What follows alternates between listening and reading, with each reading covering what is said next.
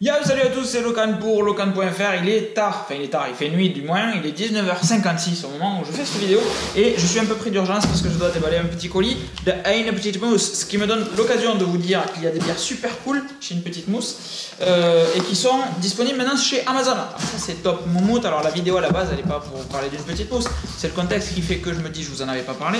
Voilà comment arrive un colis Amazon d'une petite mousse. Bon, vous voyez c'est bien un colis Amazon.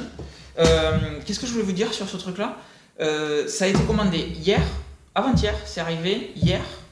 Avant-hier soir, c'est arrivé hier dans la matinée. J'étais juste bluffé, c'est du Kiala, il n'y a rien d'extraordinaire. Et c'est des IPA. Alors pourquoi je voulais vous parler de ça? C'est juste parce que euh, ils ont foutu les bières qu'ils ont sur la boutique directement sur Amazon. C'est-à-dire que si vous voulez des bières et que vous voulez pas créer un compte une petite mousse, elles sont sur Amazon. Moi j'ai reçu, je sais plus quoi aujourd'hui. J'avais demandé à, Mr. Bonzi de m'envoyer des IPA, donc c'est aussi pour ça que je vous fais la petite vidéo. Des, des, des, des Mandala India Pale Ale. L'étiquette est vraiment très moche. Ça fait, ça fait vraiment lassi. Le lassi, c'est l'espèce de yaourt qu'ils boivent les, les Indiens, etc. Euh, bref, et en urgence, pourquoi? Parce que j'ai commandé des burgers et que les burgers arrivent tout à l'heure et que j'avais pas de bière au frais. Donc du coup, je me dis, je vais vous tourner ça en même temps que je fais la vidéo. Et j'étais obligé de vous tourner la vidéo en même temps que je déballais le truc. Mais comme je déballais le truc pour ah, pouvoir voir des bières fraîches avec mes burgers, je suis obligé de vous faire la vidéo maintenant avant que mes burgers arrivent. D'où l'urgence du truc. Euh, vous allez dire, il aurait très bien pu tourner la vidéo plus tard. Bref, on s'en fout.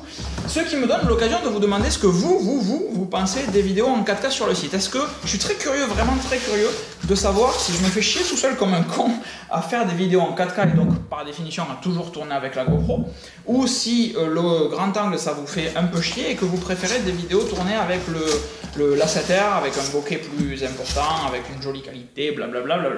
Donc, la vraie question du jour, la vraie question du jour, c'est de savoir que tous ceux qui regardent en 4K me mettent un commentaire en me disant je regarde en 4K.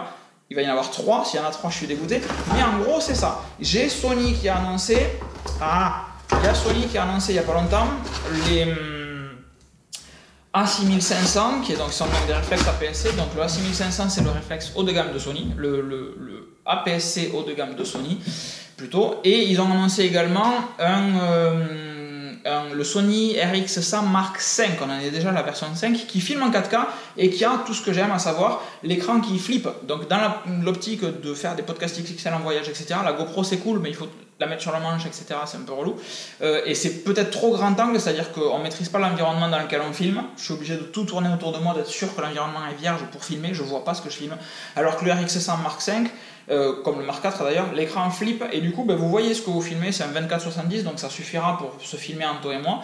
Du fait que l'écran est relevé, les deux micros étant devant, clac clac, le son reviendra sur les micros donc je me dis que la qualité audio sera pas dégueu et la qualité du RX100 Mark V en photo comme en vidéo sera meilleure que le RX100 Mark III que j'ai déjà eu et donc nécessairement ça fera des très bonnes photos vidéo.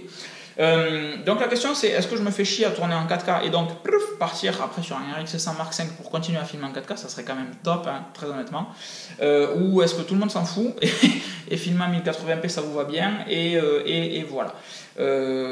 Dites-moi aussi si vous avez vu une amélioration dans la qualité des vidéos 4K sur Vimeo.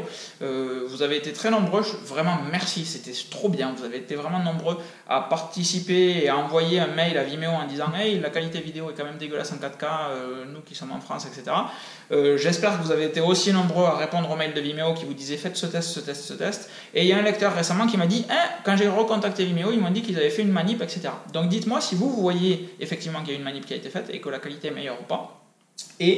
Et ben, en fonction de ça, j'adapterai. Donc 4K euh, pas 4K, 1080, 4K pas 4K, et est-ce que c'est mieux en Vimeo ou pas? Dans tous les cas, ne me parlez pas de YouTube, ça sert à rien, je n'y mettrai pas de, de vidéos, juste quelques-unes, par exemple le test de la time capsule, parce que c'était pertinent, il n'y avait pas de contenu, donc je me dis, hey, peut-être que ça peut drainer déjà en plus, il faudrait que je regarde à combien sont les vues d'ailleurs, voir si ça a été un test pertinent ou pas.